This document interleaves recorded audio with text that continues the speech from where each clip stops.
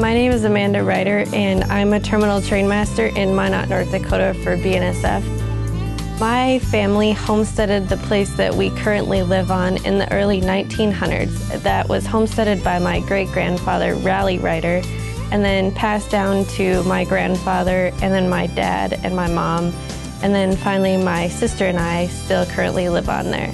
I can sympathize and empathize with customers out there. I completely understand how incredibly important it is to earn as much as possible for your crops and to get those crops delivered at the best quality in the most timely manner.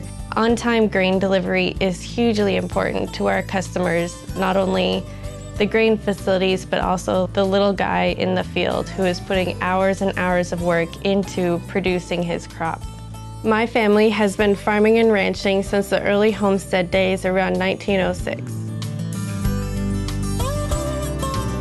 What gets stuck in your blood, I believe, is, is a connection with the people and also a connection with the land.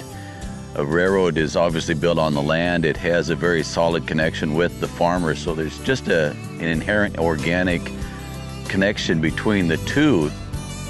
I uh, started farming at a very young age, never got out of it, never got it out of my blood.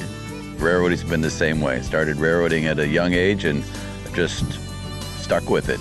Now that they've got lights on tractors, uh, we're out there 24 hours a day, seven days a week, a lot of times during the spring planting, the fall harvest season. Absolutely, I know the lifestyle of the farmer. Many of my friends in the neighborhood, we get together once every couple months and we have what we call a, a FEMA meeting. And I always wear my BNSF stuff with me when I go to these meetings because it helps them to understand what we do and, and how we can help them and how they can help us do our job better. My family's been involved in farming since the 1920s.